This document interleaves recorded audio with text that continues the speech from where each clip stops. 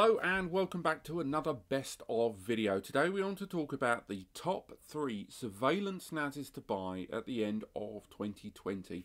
Now for those of you that have been looking at network attached storage solutions to create your very own dedicated home or business NVR network video recorder, chances are that as soon as you whittle it down to the right brand for you, you're suddenly met with a huge array of portfolio solutions and looking at them going, well, which one of these? I don't know. Because you're right to get confused. They've all got effectively the same software, but it's the hardware that's inside and outside that will dictate its utility in your own home or office environment. Pretty much all of the top tier NAS brands right now all include their own dedicated surveillance software, the ability to attach multiple IP cameras in your home or office environment and then monitor them directly either from a standard desk in the same network environment or remotely when you're on holiday with your mobile phone. They've got lots of client apps and the ability to attach, cameras from many, many companies. Hikvision, Edimax, um, uh, Axis, Reolink, Anker, all of those camera brands that we talked about on the channel generally have cameras supported by these NAS brands. But a lot of you buy a NAS not just for surveillance, you're using it for a bunch of other things, and when you buy the device, surveillance is one of the ways in which you maximize your investment. But then you end up finding out that it's the thing that it does the most. It's the device that ends up recording in the background at all times and actively writing to disks all the time. So what was once not a priority then becomes the priority.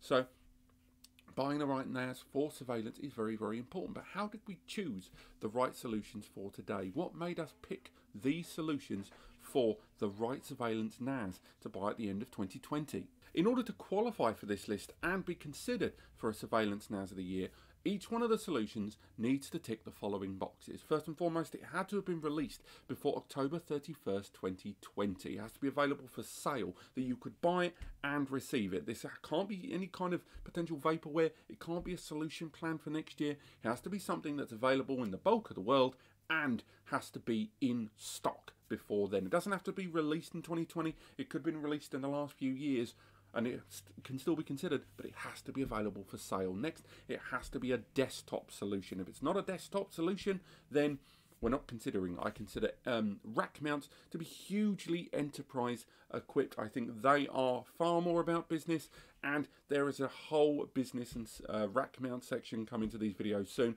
But I'm only considering desktop solutions because I still think if you look at the wider NAS market, desktop is still largely the dominant force for a lot of buyers, being their first, second, or tenth NAS.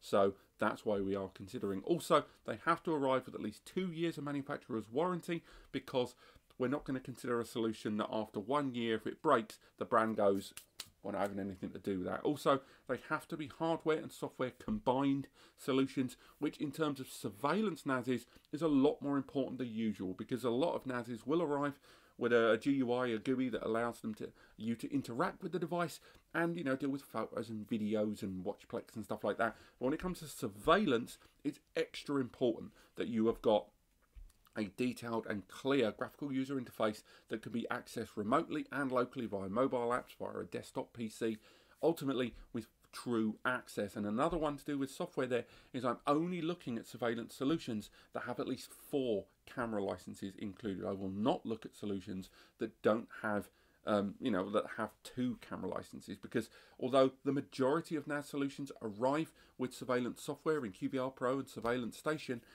and they arrive with camera licenses, more and more solutions we see arrive with just two camera licenses. And what they see that as, if you're a home user, you have one camera out the front, one out the back. But if you want more cameras, you have to support the software by buying lots of licenses. I'm looking at solutions which are being purchased for surveillance. Ergo, they should have the licenses at the beginning. So I'm only looking at solutions that have got at least four camera licenses on the doors. And yes, you may have to buy more, and they're normally 30 to 40 quid a pop. If you get them in packs, they're cheaper.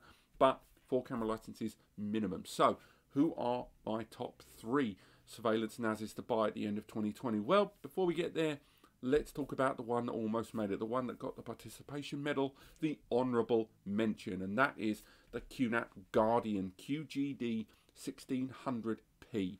Now, I love this system. It is a combined switch and NAS, but unfortunately it didn't make the cut. It can't make the top three because although it is a very, very good solution and it has a number of licenses included, it's got PoE port, it is a great NAS for surveillance.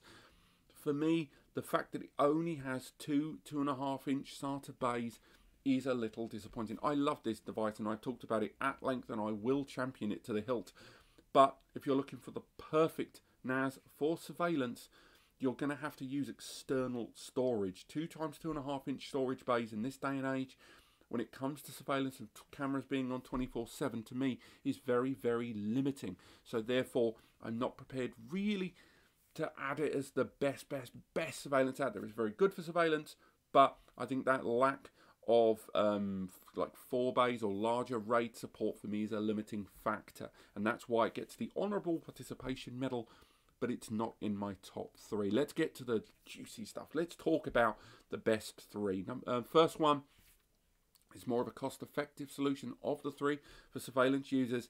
It is the QNAP TS453D. It's an Intel quad-core powered NAS, the J4125 processor quad core 2.2 to 2.7 gigahertz per core. It's got 4 gig of DDR4 memory that can be upgraded to 8. It's got HDMI out 60 frames per second 4K. It's got a PCIe upgrade slot if you need it and 2.5 GBE ports as standard.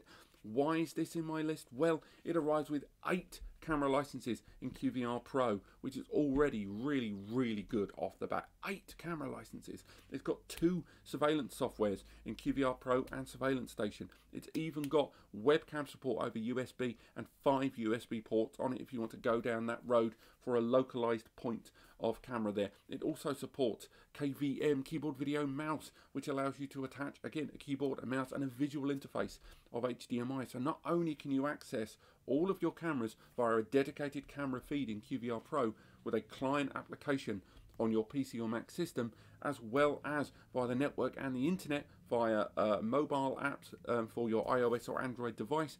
You can also directly create a standalone surveillance system with the full camera feed, while at the same time the NAS being used for all the day-to-day -day backups and multimedia and file accesses and VMs and stuff and other users accessing the device remotely.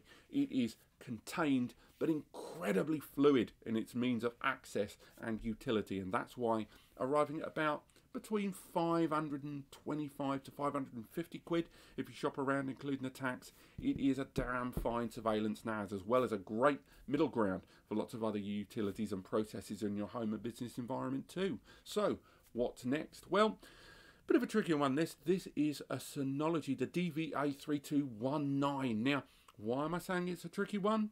Because despite the fact that it is the best Synology surveillance NAS to buy right now from them, I also know the follow up is arriving, if not immediately, then in the coming weeks. It is the follow up is the DVA 3221, and as it's not available it's not allowed in this list, unfortunately. But the 3219 is so, so similar to it that by an area of contention, although we're not talking about the DVA 3221, um, everything I'm about to say applies to that as well. So why do I pick the DVA 3219 from Synology? Put simply, it's those letters DVA, Deep Video Analytics. It is the first Synology to arrive with a graphics card pre-installed. This GPU card working with the Intel CPU inside that arguably is a little lackluster but does feature the PCIe lanes for the rest of the system. This 4-bay allows you to not only utilize all of the general applications from DiskStation Manager DSM 6.2 with 7 right on the horizon, it all, uh, you know, uh, multimedia, Synology Moment, Synology Mouse, Synology Drive, Synology Office, Synology Chat, all of those great apps that replace your third-party apps, as well as virtualization support and support of multi-tiered backups in um, Active Backup Suite and Hyper Backup. On top of that, no other Synology NAS currently uh, utilizes Synology's surveillance station application better than this. It's got all of the alerts, it's got a pile of camera licenses included, more than two, I'm pleased to say, like the rest of the Synology range. On top of that, it also features that DVA, the AI Deep Learning Support. And the reason that's important is because normally you have cameras dotted around your home or business environment recording 24 7. Now, you might have them only recording an alert, so if someone walks past a camera or uh, you know a line is tripped and then it starts recording, and then you get an alert, which is good, but still you can get false positives. You can get movement of wind, trees in the wind. You can get movements of a car past a window and not someone trying to break in, which can get super annoying, particularly on a windy day when you're getting an alert every five seconds because the tree outside is going crazy.